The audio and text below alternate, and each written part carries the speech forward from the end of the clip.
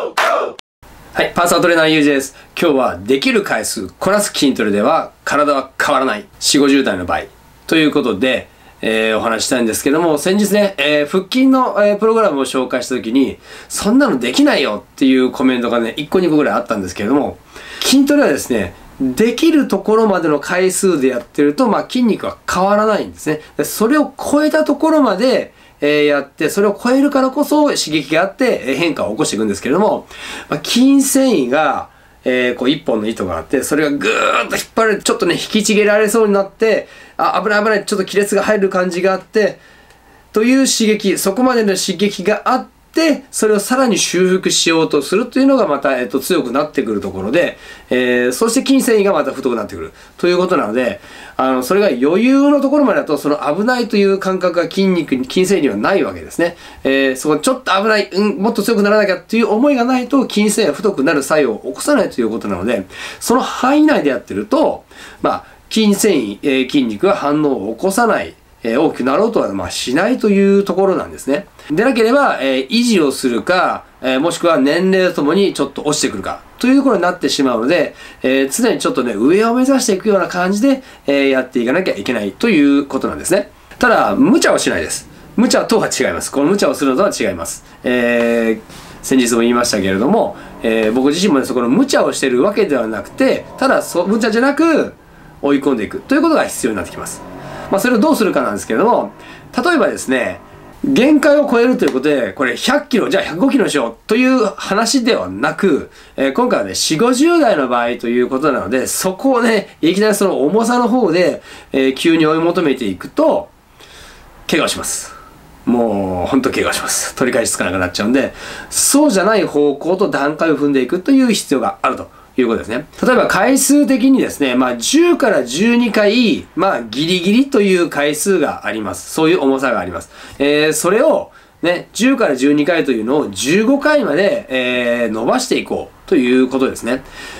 ね、伸ばすというのはただただそれが筋量が伸びるのを待つということではなくて、えっと、まあ、種目によって違ってくると思うんですけど、えっと、サイドレーズとか、このアームカールとか、そういうものでは、チーティングを使います。サイドレーズの場合には、え以前にも説明しましたが、きつくなって、あ、これ以上上がんなくて、正しいフォームでは上がんなくなってきたというところで、膝の屈指を使って垂直にちょっと押し上げて、えー、三角形をヘルプして、1、2、3とちょっとチーティングね、足のチーティングを使って帰りは使うということをやっていけば、もう3回プラスできていきます。アームカールも同じ同じで、体勢を前後ね、前後変えないで、ちょっと膝の屈伸で少しだけ押し上げてあげることで、1、帰りは使う。2、で、上、上半分の収縮があって帰りは使う。という感じで3回伸ばしてあげる。で、懸垂の場合も、えっ、ー、と、同じですね。チーティング、えー、懸垂ができなくなったという回数のところで、ね、下の台があるところでポンと蹴ってあげて上までクッと正しい収縮のところまでいったら帰りだけ使ってネガティブで使っていくということを3回やっていけば、えー、12回が15回になってくるという方法でやっていく。で、プレス系の場合、えー、ダンベルプレスとか、胸のね、ダンベルプレスとか、このショルダープレス、スクワットの場合には、えー、そういうチーティングが基本的には使えないので、体勢をね、変えられるわけじゃないので、えー、チーティングが使えないので、これはね、えー、プレス系の場合には、えー、パーシャルレップを使っていきます。まショルダープレスなんかの場合にも、ここまで下ろしたらもう次上がらないという風になってくるんであれば、えー、4分の3まで下ろして、半分まで下ろして、上の4分の1だけやって、下まで下まで行って終わりという感じで、え、やっていく。胸のチェストプレス、ダンベルプレスも同じですね。ベンチプレスの中でも、えー、きつくなって、これ下まで行ったらもう上がらないんであれば、4分の3、半分、3分の1で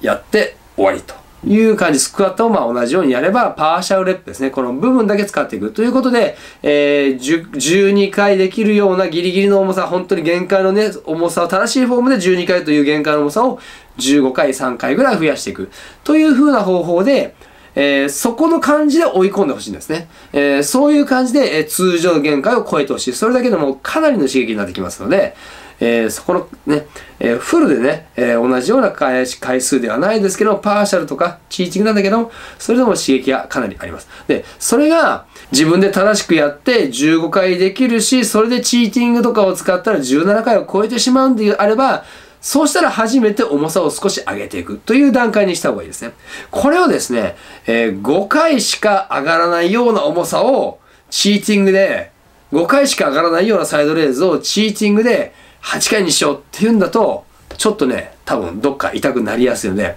その回数ではやらないですね。今言ったような、まあ、10から12に対して3、4回増やすというような、えー、チーティングとかパンシャルレップを使っていくというのが、えー、怪我をしないで筋肉をきちんと追い込めるという、まあ、4、50代にとってはその方法でやる方が、えー、いいかなと思います。そういうね、限界の超え方、えー、回数を少し増やすことで限界を超えていく。その後で少し重さを上げていく。という、その順序でいった方がいいですね。いきなり重さを上げるんではないということですね。えー、ただそのチーティングとか、えっ、ー、と、パーシャルレップを使う場合には、